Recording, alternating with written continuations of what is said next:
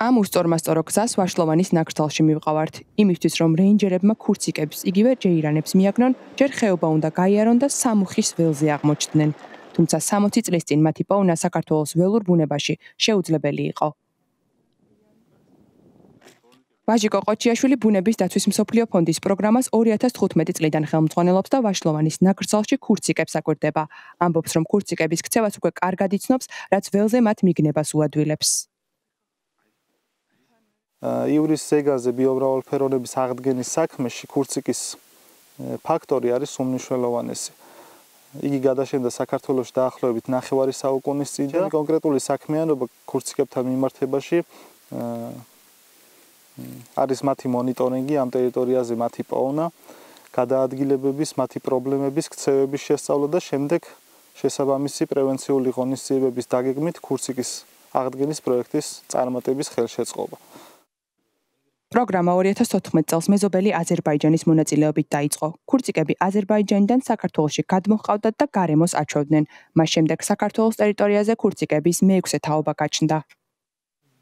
ხდებოდა ქურციკების ტრანსლოკაცია, ანუ ამ ადგილებში გაშვება საქართველოს-აზერბაიჯანის ტრანსსაზღვრო მონაკვეთებში და ჯამში დაახლოებით 80-მდე ინდივიდია შემოყვანილი 7 წლის განმავლობაში.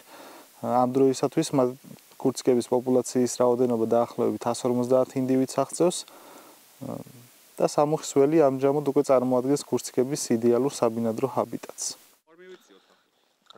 ვაშლოვანის ნაკრძალის რეინჯერთა სამსახურის უფროსი ვაჟა ჩერქეზიშვილი ჩართულია პროგრამის განხორციელებაში.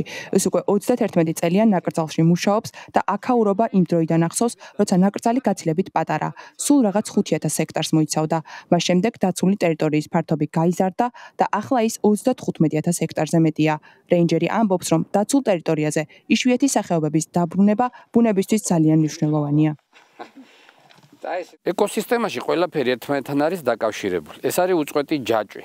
თითოეული კომპონენტი ერთმანეთთან არის დამოკიდებული და როდესაც ერთი კომპონენტი წყდება და იკარგება, იმას მისდევს შემდეგი კომპონენტებიც, როგორიც არის მაგალითად ტაცებელი, ჯიქი, წინააზიური იგივე ლეოპარდი, რომელიც თავის დროზე ამ ტერიტორიებზე იყო გავრცელებული ისტორიულად და ქურციკის გადაშენებამ გამოიწვია აი ამ ტაცებლის გადაშენებაც. ასევე გადაშენებულად ითვლება ფაქტიურად ზოლებიანი აფთარიც. შესაბამისად, ქურციკის აღდგენა პოტენციურ საშუალებას იძლევა, რომ აი ეს სტაცებელი სახეობებიც აღდგენილი იყოს. 2014 წლიდან მოყოლებული ვაშლოვანის ნაკრძალში დღეს 150 ქურციკი დარბის, მაგრამ იმისთვის, რომ სახეობა გადარჩეს, ჯეირანების რაოდენობა კიდევ ორჯერ უნდა გაიზარდოს. მანამდე კი ვაშლოვანის ნაკრძალის ქურციკები დაქრიან ჩამავალი მზის სხივებში.